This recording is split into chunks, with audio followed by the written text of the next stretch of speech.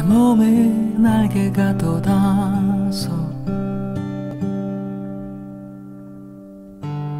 어디든 날아갈 수 있기를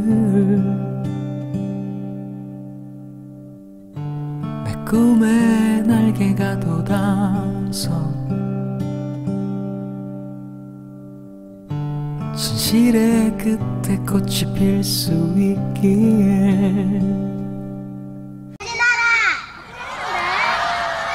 바보들아 어제 퇴진했다 아이가 에이 참.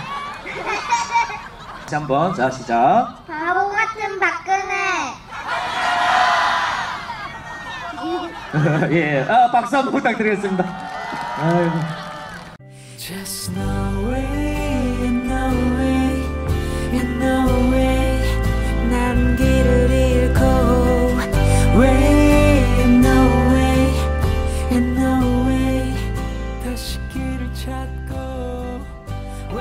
이제 시작이라 생각을 하고 정말 정의로운 대한민국 건설을 위해서 우리 도민 여러분들과 시민 여러분들과 함께 손잡고 나아가도록 하겠습니다. 시민 여러분 축하합니다. 고맙습니다.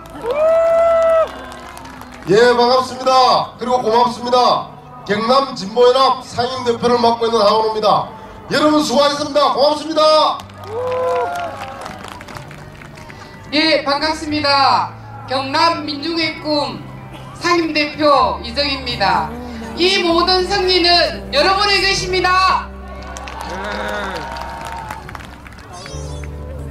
일하는 모든 노동자들의 희망 민주노총 경남본부 본부장 김정현입니다. 고생하셨습니다. 노무현재단 경남위원회 고문 허정도입니다. 지난 겨울 수고 많이 하셨습니다. 따뜻하고 행복한 봄 맞으시기 바랍니다.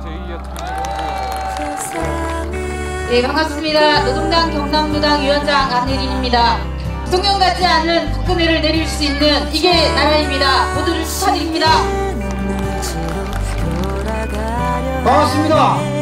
창원 녹색당 본것 모르겠다는데 이게 부정청탁입니까?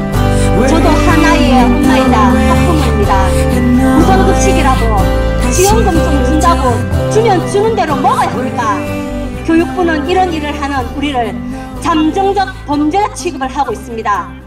솔직히 저는 정치에 관심이 없었습니다. 그런데 홍준표 도지사가 아이들 밖으로 장난하고 박근혜 정부의 국정농단과 지금의 현실을 보면서 정치가 우리 일상에 어떤 영향을 주는지 절실히 느끼고 있습니다. 우리 아이들에게 부끄럽지 않은 이 나라를 만들기 위해 여기 계신 촛불 시민 여러분과 함께 살맛 나는 세상을 만들고 싶습니다. 동참해 주십시오, 여러분! 감사합니다.